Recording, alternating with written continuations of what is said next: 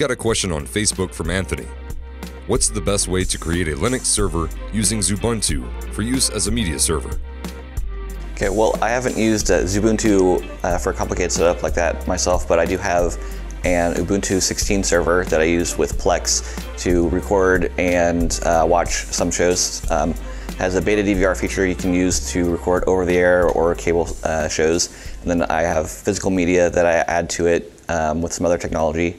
Um, and that way I can have all of my movies and TV shows that I own added to my server and then stream them from my Plex server out to my phone um, or any other device, like an Apple TV, for instance, uh, or Chromecast. It's available on almost anything these days. Uh, and you can separate your movies and TVs into different uh, folders and libraries and makes it very easy to manage. Um, and there's a guide series that I wrote also on the community to help you get started with it. So it covers installation, some of the more advanced features like sharing it, um, and how to add and manage your media with Plex. We've got another on Facebook from Anthony. Second, he says, does anyone know of an easy way to build a desktop DVR system that can support about a dozen sources at a time and also record as many as five feeds at one time? Yeah, this is going to be complicated, so um, you're going to run into some issues with trying to get that many um, feeds and that many different uh, options available for a single DVR system. You might look into something like MythTV, which has been around for a very long time now. Um, but Plex is going to be a little more limited depending on how many tuners you have. And like I said, it's still a beta feature for their DVR function. Um, so I'm not sure if there's anything that will support um, that much all at once.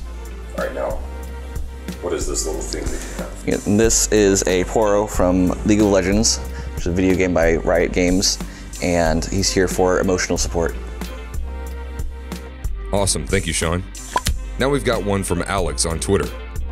Among all Linux and Red Hat certificates, which one would you recommend for someone to start with?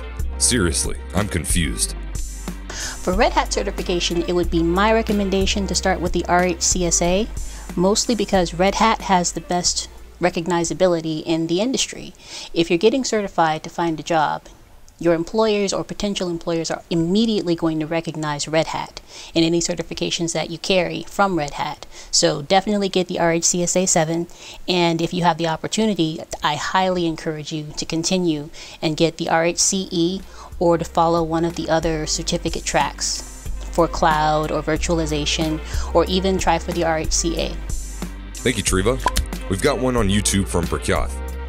Is it possible to add an audio player feature to the Linux Academy apps? I know that the apps provide MP3 downloads, but it's too much work to rename and arrange them in the mobile phones, because our downloadable MP3 file names are not properly named or arranged.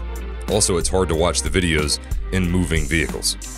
Yeah, don't do that if you're driving. That's a great question. So while we don't specifically have MP3 audio only playback, it's something that you can easily get around. So in the settings, we have an option that allows the video to keep on playing while the screen is off. Just enable that, play the video that you want, and you're good to go. If you're Bluetoothed into your car or speaker system, you can continue listening to the, to the lesson while the video is off.